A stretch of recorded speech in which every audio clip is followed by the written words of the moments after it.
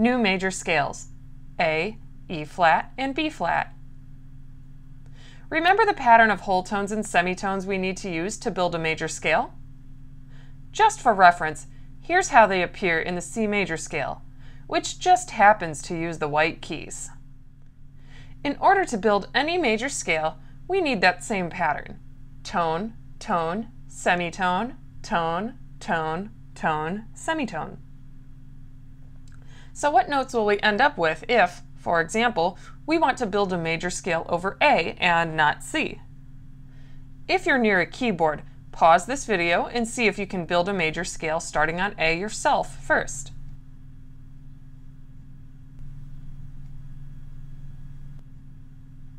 Hopefully, you ended up with something like this.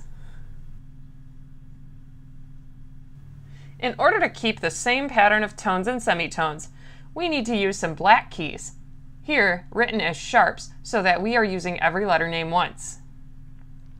How many black keys do we have? Yes, they are C sharp, F sharp, and G sharp. So what do you think the key signature for A major will look like? Well, it will look like this. There are our three black keys, the three sharps. Great. Now let's do the same thing for the key of B flat. First, if you have a keyboard near you, find B flat and build the scale yourself using the tone, tone, semitone, tone, tone, tone, semitone pattern. Feel free to pause the video. I'll still be here when you return.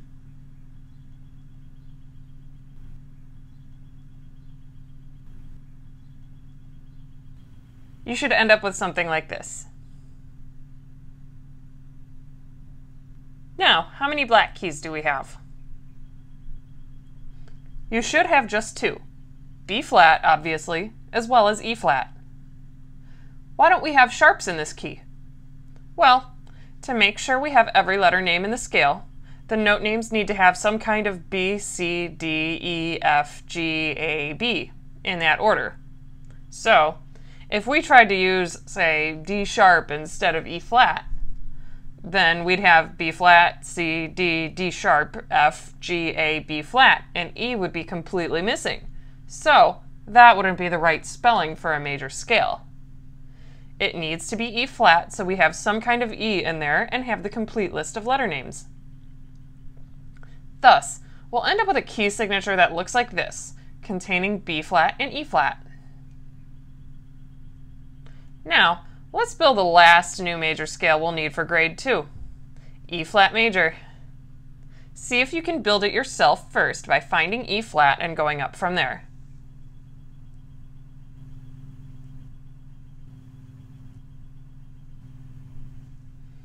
Hopefully you ended up with this. As with B flat, we have to use flats so we can have every letter name represented in the scale. Thus, the key signature will look like this since we have three flat notes.